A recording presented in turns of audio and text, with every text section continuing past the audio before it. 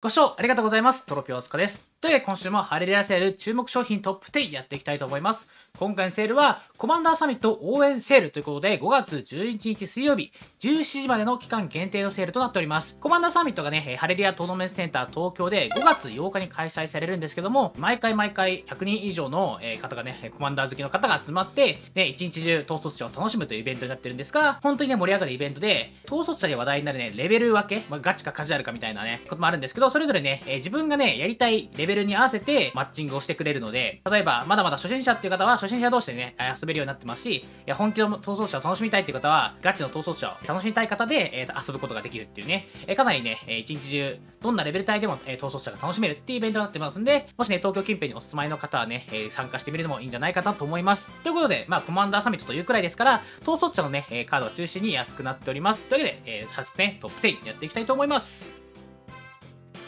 はい、まず第10位です。第10位は、えプレリリース版の刃砦の英雄ですね。ニアミント880円となっております。え白の4マナ34。で、完成って言ってね、えこちら攻撃するたびに他の攻撃クリーチャーもプライチゼロ修正を受けるというね、パワーを上げてくれるっていう効果を持ってます。こいつは攻撃するたびにタップ状態で攻撃している白の11兵士トークンを2体出すということで、刃トリルの英雄が殴ってトークンが出て、さらに喊声がついて、一緒に出てくるトークンたちも実質ね、21の状態でアタックすることができるっていうね、かなりね、パンチ力の高いカードとなってます。まあ、こいついてアタックするだけでね、合計パワー7分でアタックできるんで、スタンダードの時もね、かなりね、活躍したカードでしたね。白緑ビートダウンみたいなデッキが、このミラディン包囲戦とイニストラードの頃かな、流行ったんですけど、そのエースアタッカーっていうね、感じの顔でした。で、今はね、統率者戦で活躍していて、特にね、一心かな一心だと攻撃するたびのね、誘発型がね、2回誘発するんで、で、完成も2回誘発するし、このトークン出すのも2回誘発するってことで、かなりね、重宝されているカードになってます。ね。それでも、ソウルシスターズとか、で、スタームタックスにも入ってることがあるんですね。で、あとはウィノータか。これも人間、確か人間だったんで、デッキトップから降ってくる。刃とりで栄養降ってくるみたいなことで、移動的にも採用されているということで、スタンダードの時はね、本当に2500円くらいまで上がってて、でね、海外もね、今だと15ドル以上するのかな？ただ今、このプレリリース版の日本語版だったら880円とかなりお買い得な値段で買えるんで、で、パワーもね、本当に折り紙付くというか、もう証明されてるカードなんで、ぜひね、皆さんも使っていただきたいですね。ということで、第10位は刃トリルの英雄です。そして第9位です。第9位は、ストリック成分のミスティカルアーカイブ版、日本語版の、えー、時間のねじれですね。ニアミント1580円となっています。5万操作でプレイヤー1人を対象として、そのプレイヤーは追加の一旦を行うということでね、まあ、追加ターンカードの代表格といった感じですね。最近、統率者が流行ってる影響で、各種追加ターンっていうのがかなりね、需要が集まっていてですね、どのカードもね、高くなってるんですよね。この時間のねじりだけじゃなくて、最近だとね、時間への侵入とかもね、上がってますね。まあ、あれは、あの、パイオニアのイゼットフェニックスで、えー、使われていることから、最近ね、需要が集まってる、注目が集まってるカードなんですけど、その他にもですね、カーンの刑事隔離とかも、えー、統率戦でよく使えますし、あとは奇跡の時間の熟達とか、そういった追加ターン系っていうのはね、すごく需要が集まっていて、この時間のねじれもね、通常版のテンペストとか、えー、基本セットで再録されたやつはね、2000円超えてるんじゃないかな、今。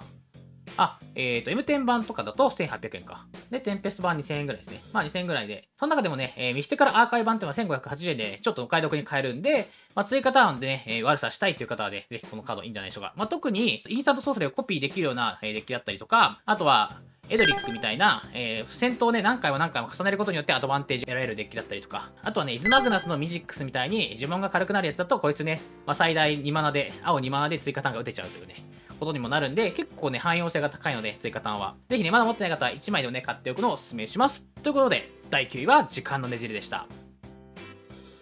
で、第8位は、スイバの巣です。日本語は2180円ということで、えこちらスリバーのね、専用の星となっていまして、まあ、普通にね、え無色マン出すこともできるんですけど、スリバー呪文を唱えるためには、に、え好きな色を出すことができると。さらに5万円タップすると、スリバートークをね、追加することができるんで、暇な時にはこのスリバートークを生み出して、いろんな能力を持ったスリバーを追加することができるということで、まあね、マジックやってたら、まあ一回はね、スリバーデッキを組んでみたいって思うことがあるんじゃないでしょうか。スリバー出すと、そのね、スリバー持ってる効果が全員にね、付与されるって、共有されるっていうね、かなりね、面白い能力を持っているんで、まあ、部族デッキね、まずね、スリバーちょっと組んでみたいなって思う人は結構多いと思うんですよね。まあ本当にね、ねだから海外でもまあ、全世界的にもスリバっていうのは人気の部族で、この年もかなり人気が高いと。で、今回は、ニアミントは2180円で、ちょっと高いかなっていうぐらいなんですけど、SP 版が1530円ということで、まあ、結構相場よりも安く買えるんで、この SP 版、あと第5点ですけども、まあ、状態を気にしないという方は買ってみてもいいんじゃないかなと思っています。ということで、第8位はスリヴァーの巣でした。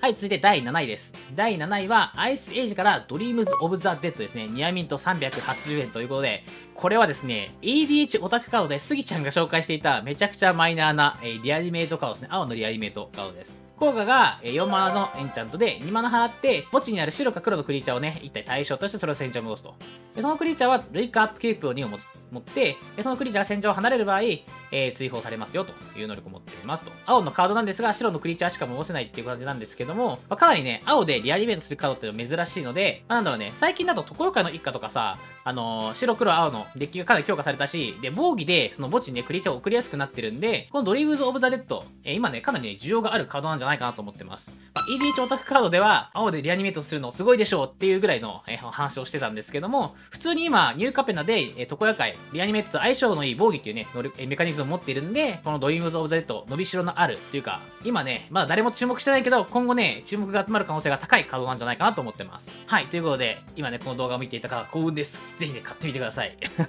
はいということで第7位はドリームズ・オブ・ザ・デッドでしたはい、続いて第6位です。第6位はアルティメットマスターズからギャンブルですね。ニアミント1880円ということで、1マナソーサリーでライブラリからカード1枚、好きなカードを探すことができますと。で、その後、手札からね、ランダムで1枚、えー選んで捨てなければいけないよというカードですね。まあ、まさにギャンブルを行うカードなんですけれども、まあね、特にね、レガシーでは、土地単でよく使われてますね。え浄土からの生命とか、墓地に落ちても大丈夫なカードをね、ギャンブルで探してきて、そのままね、えー何回も繰り返し使ってもいいですし、落ちちゃった場合はね、ハックスを使って手札に戻すことができると。軽いね、墓地利用するね、デッキだったら全然このギャンブル使うことができるっていうね、えーカードになってますけども、逃走者戦ではね、1ターン目にソルリングとか、マナクリプトみたいな強力な、マナ加速アーティファクトをね、探すために使うことがあります。やっぱりデッキに1枚しか入ってない。99枚の中の1枚しか入っていないので、まあ、初手にあるっていうのはなかなか難しいですし、まあ、2ターン目にね、そういったソロリングとかマナクリプト置いても強いので、まあそういった動きを良くすることがありますね。まあギャンブルで他にもですね、吸血の教授者でデッキトップにそのそういった強力なマナーチャークトを置くとか、そういったプレイはね、よく行われるんで、このギャンブルもね、そういった形で使われることがあります。もちろんね、まあ運が悪いとそのね、マナクリプト手札に加えても墓地に落ちちゃう場合もあるんですけどけど、まあそれはご愛嬌ということで、そういったね、まあ低確率の要素は結構ね、みんな許容している、許容して使ってるのかなっていう感じですね。まああとね、今本当に統率者では赤が強くなってるんで、えー鳩場の強化値を持ってきたりとかね、あとは死の国からの脱出を持ってきたりとか、そういったことも全然できると。で死の国からの脱出だったらね、え死の国からの脱出を使って、そのね、ギャンブルで落ちてしまったカードをもう一回再利用するってこともできるんで、えー今ね、ギャンブル本当にね、強いスペルだと思います。ということで、第6位はギャンブルでした。はい、続いで第5位です。第5位は、エルドインの王権から、グレートヘンジですね。ニアミント2480円ということで9マナの伝説のアーティファクト。この呪文を唱えるためのコストは、あなたがコントロールしているパワーの最大値分だけ軽くなりますよということですね。まあ、5マナのクリーチャーを、えーコントロールしていたら4マナで出すことができると。で、タップすると緑2マナを加えて、さらに2点のライフを得ます。で、トークンでないクリーチャーが出ると、えープラス1カウントが置かれて、カードを1枚引くことができますよというね、まあ、スタンダード時代も大活躍していますし、えー、統率者戦でもね、もちろん強力なカードになってます。やっぱり、クリーチャー出すためにワンドローついてくる。まあこれだけでも相当強力なんですが、まあね、そのクリーチャーを出すための支援となる、マナを加速することもできますし、クリーチャーも、えープラス1カウンターを置いて強化することができるということでね、これはね、特にね、海外でめちゃくちゃ人気のカードですね。英語版の方が高いじゃないですか。英語版5000円もすんだ。え、倍っすよ。倍。まあやっぱこういった統率者で人気のカードっていうのは英語版が高くなる傾向にあるんですけど、日本語版だったらね、えーその半額で買えるということで、日本で住んでいてよかったって感じですね。緑のクリーチャーを連打するようなエルフみたいなデッキでもいいですし、巨大なクリーチャーをいっぱい連打するようなデッキでも強いと。で最近はね、奇襲と相性いいしね。これ、グレート返事。あの、道具箱の返事通りみたいなカードだと、あの、奇襲を使って、でかいクリーチャーを軽く出して、でね、そのね、でかいクリーチャーが出てきたことによって、グレート返事を出しやすくなるみたいなこともできるんで、このグレート返事っていうのはね、結構旬なカードなんじゃないかなと思います。ということで、第5位はグレート返事でした。続いて、えー第4位ですね。第4位は、モダンホライゾン2から孤独です。ニアミント7580円という号で、えー、5万の3に瞬速反コンで出た時に、えークリーチャー1体を追放して、その分のね、そのクリーチャーのコントローラーそのパワーに等しい点数のライフを得ると。で、早期を持っていて、手札から白のカード1枚追放すると、タダで出すことができますよっていうカードでね、まあ本当にこれは強力なカードで、モダンではですね、青白コントロールとか、あとは4色オムナスみたいなデッキに入っているカードです。以前はね、ピーク時9000円ぐらいまでしてたんですけど、まあ、現在セール中ということもあって、7580円と、まあ、1500円ぐらい安くなってますね。で、今ね、かなりモダンもね、暑い時期にもなってますし、まあ、ルールスがね、禁止になったことによって、また環境も変わって、モダンっていうフォーマットが、えー一段と面白くなっている、えー時期ですので、まあ、そういったところで、えー、オーモダスデッキとか、えーコントロールデッキ組みたいなって方は、ぜひこの孤独を買ってみるのもいいんじゃないかなと思います。はい、ぜひこの整理を利用してみてください。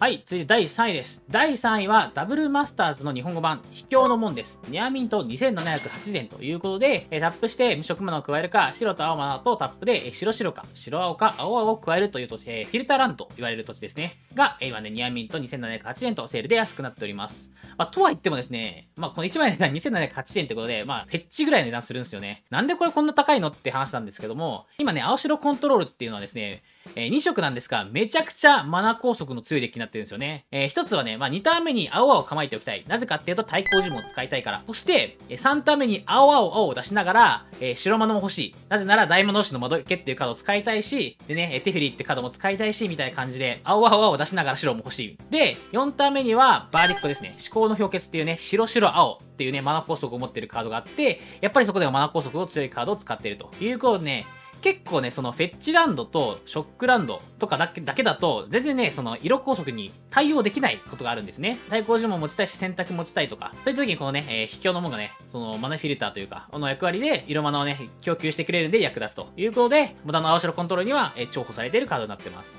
まあ普通にね、あと統率者戦でも、えー、このフィルターランドっていうのね、よく使われる土地ではあるので、まあアンタップにね、2色出すことができるっていう土地はね、やっぱいつの環境でも統率者では人気のカードということで、まあ需要が高まっているよということになってます。ということで、第3位は秘境の門でした。はい、次いで第2位です。第2位は、ザ・リストから坂島のガクトです。えー、ニアミント4980円ですね。こちらね、4万00で、えー、人数で、2万で人数することができます。で、こいつをね、出した時にですね、他のクリーチャータイプに加えて忍者であることを除き、戦場の他のコピーとして出すことができるというね、まあ、クローンの忍術版ですね。普通に出してクローン、普通に出してもクローンと同じね、マナコスト。まあ、ちょっとシンボルが濃いですけど、クローンと同じマナコストを出すことができて、人数だと2マナと軽く、えー、出すことができるっていうね、クローンカードになってます。本当にこれは忍者デッキでもいいんですけども、そうそう、このカード、全然再録がなくて、最初がね、プレインチェイス2012かなで、えー、収録されたんですけど、それから全くと言っていいほど、えー、再録がなくて、ずっとね、その人気のカードなんだけど、の全然再録されないってことでね、値段が上がり続けて、まあ、80ドルとか、まあ、日本語版でも9000円とかしてた時期もあるぐらいの顔でした。今回ね、ニューカペナの街角のザ・リストで新しくね、収録されるのが決定したことによって、ニアミントで4980円と、今までよりもかなり安い値段で買うことができるようになっています。はい、今までね、外でユリコとか使っっていて、この坂島の額とだけは高すぎて買えないって思った方はね、ぜひね、この機会に買ってみるのもいいんじゃないでしょうか。ということで、第2位は坂島の gackt でした。はい、そして今回のセール第1位。第1位は、モダンホライゾン2から日本語版、帝国の長母兵です。ニアミント680円。赤の3マナ11で、まあ、こいつが戦場に出た時にね、ライブラリからパー2以下のクリーチャーを、え手札に加えることができますよというね、えー、クリーチャーのサーチカードになってます。これはね、もともとね、えー、ポータル三国志にしか入ってなくて、えー、2万円を超えるほどのね、めちゃくちゃ高いカードだったんですよ。で、しかも結構能力が強いからね、うわ、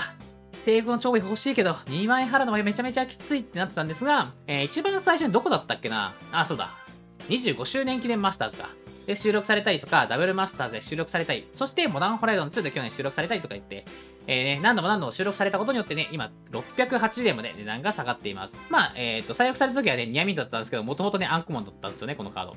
で、今ね、帝国の長母兵、最近ね、話題になってたビビアンのコンボとかにも使われてますしね、このカードね、あらゆるデッキのね、本当コンボパーツになるカードなんですよね。こっからね、えー、鏡愛の危機式を持ってきたりとか、守護フェリダーを持ってきたりとか、あとはリアニメートの霊体の戦争を持ってきたりとか、もう本当にいろんなことができるので、もうこのカード本当に強いですね。まあ、結構ね、よく見かけるのは、こいつから鳩場の教科書を持ってきて、一気にマナカスク宝物いっぱい出すみたいなね、動きもできます。だから本当にね、触れるカードが多いので、このカードがね、680円で買えるっていうのはね、結構ね、今までなかったのかなという感じですね。で、本当にずっと逃走者がね、人気な限りは、どんどんどんどん買われていくかだと思いますし、今680円ね、かなりね、ちょうどいい値段じゃないかと。カードにね、お手軽な値段じゃないかなと思うんで、え僕はね、この激推しします、この帝国の勝負兵。ということで皆さんぜひね、この帝国の勝負兵、今回の製品注目カード第1位に選ばせていただきましたんで、持ってない方はね、ぜひ1枚でも買ってみてください。はい、ということで今回はですね、コマンダーサミット応援セールということで、えトップ10紹介してきました。5月11日水曜日17時までの限定のセールとなっておりますので、ぜひね、この機会を利用して買ってみてください。